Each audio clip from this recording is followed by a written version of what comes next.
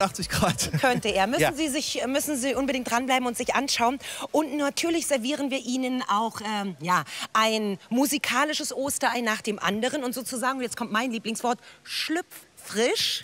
Sag mal. Wie heißt das? Schlüpf- Schlüpffrisch. Schlüpffrisch, ja, schön.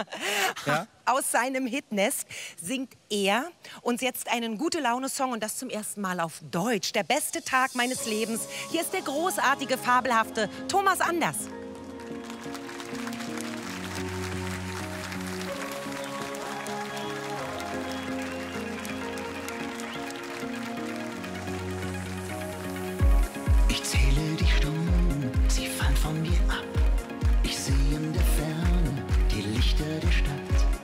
Morgen wird heute, aus Vorfreude Glück.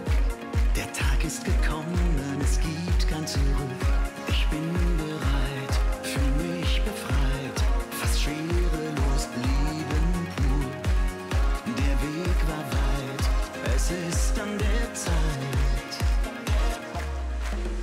ist der beste Tag meines Lebens.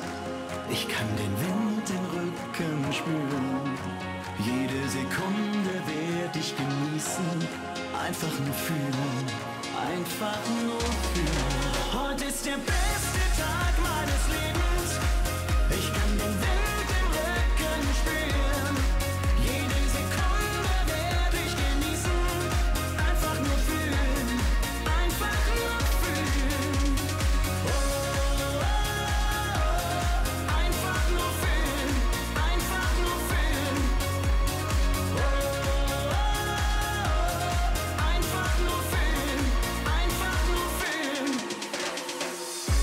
Der Weg schien fast endlos, das Ziel Utopie.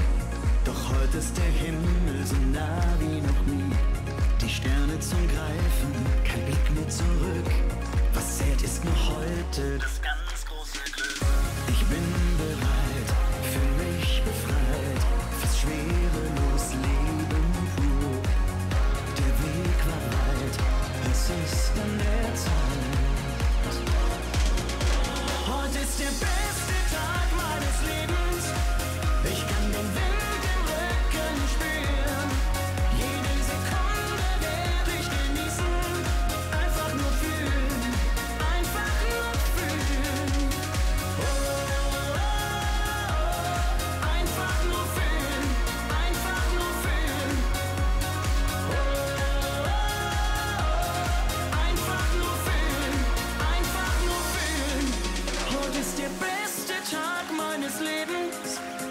kann den Wind im Rücken spüren.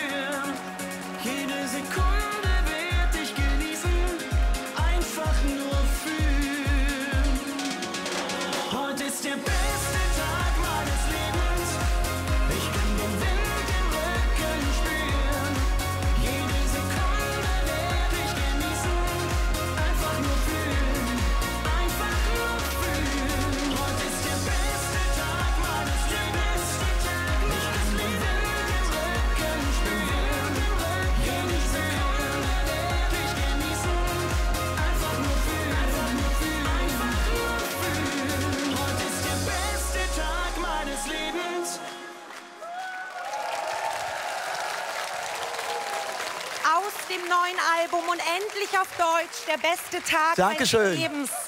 Thomas. Anders, wow. Liebe Kiwi. Danke. Schau mal, da geht was. Die Südkurve. ja, sehr gut.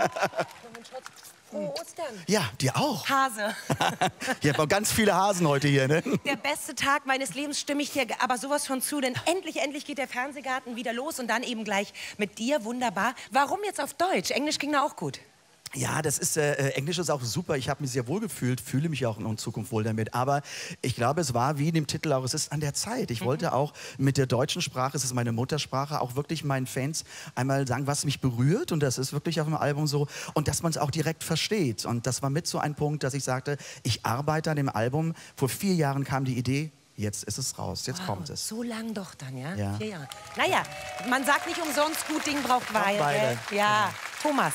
Wir freuen uns auf einen zweiten Titel aus Ja. dem schönen neuen Album. Jetzt sind wir aber erstmal bei Lutz van der Horst, der die Wanderschuhe anzieht, aber ohne zu wandern. Aha. Und das, und jetzt verrate ich ein Geheimnis, obwohl wir ihn intern auch Lutz Wanderhorst nennen. Die ganze Geschichte jetzt.